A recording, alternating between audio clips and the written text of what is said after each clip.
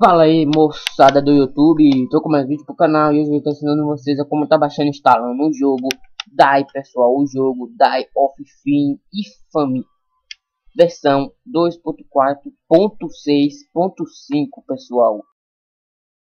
Essa versão atualizada do jogo de 2017 hoje eu estou trazendo a vocês o tutorial de como tá baixando e instalando. E também pessoal, é, esse jogo pesa, deixa eu ver quanto giga ele pesa se eu, não me, se eu me lembro, pesa só 2 GB, pessoal, se baixar. 3 GB e 80, pessoal. Mas o jogo é super foda mesmo, pessoal. E o único problema que esse jogo tem era para funcionar online. Quando você pede multiplayer, aparece a lista dos, dos servidores para você entrar. Mas quando você vai entrar, aparece um erro lá e não entra no jogo online. Mas você pode tentar isso. Se o seu computador funcionar, vocês deixem aí no comentário, pessoal. Mas também funciona o modo single play do jogo normal, pessoal. Se o seu online funcionar aí, deixe nos comentários. E vamos lá para o tutorial. A primeira coisa que você vai fazer é baixar o RAR do jogo aqui, pessoal. E eu vou deixar o link na descrição do vídeo. Aí vocês vão extrair, pessoal, esse RAR. Extrai aqui. Vou precisar do programa RAR. Só programa RAR e torrent. Aí depois que você extrair, pessoal, vai criar essa pasta. Nessa pasta aqui, vocês vão recortar aqui, pessoal. Vocês vão dar o botão direito em cima dela.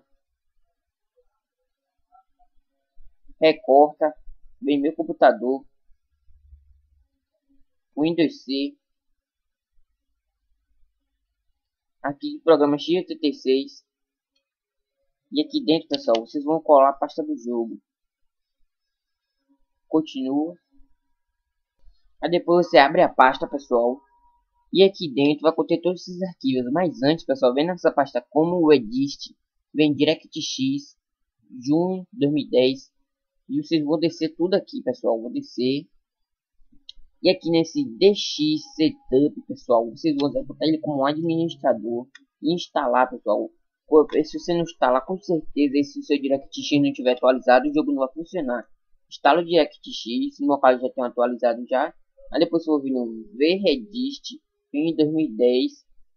Instala esses dois aqui, pessoal. Um por um. Instala esse depois esse. Aí depois vem 2013 instala esse e esse também, executando como administrador. Aí depois vem no 2015 e instala os dois também, pessoal, sempre executando como administrador. Pronto. Aí depois que você instalar tudo, pessoal, agora não sei, não vou vir nesse detalhe aqui não, que esse detalhe não vai funcionar o jogo. Você tem que vir nesse launcher. Envia para a área de trabalho, pessoal. Enviou de boa. Agora vamos aqui, botei direito em cima dele, pessoal. Propriedades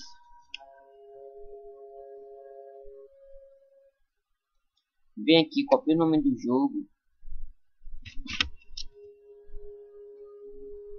Vem geral, cola o nome. Apaga esse pontinho aqui. Pronto, vem compatibilidade, marca que eu executar esse programa como administrador, pessoal. Aplique e dá um ok. Pronto, pessoal. Você pode estar abrindo esse jogo aí que vai estar funcionando sem nenhum erro, pessoal. O único erro que vai estar no multiplayer lá, pessoal. E o jogo aparece a lista dos servidores lá para você entrar, mas o jogo não funciona, pessoal. Não funciona online. Mas o jogo single play tá funcionando normal aí, pessoal, sem erro nenhum. E valeu, pessoal, por ter assistido o vídeo até aqui. E já deixa o like e se, você, e se inscreve no canal se você não for inscrito. Valeu e até a próxima. Fui, pessoal. Tchau, tchau.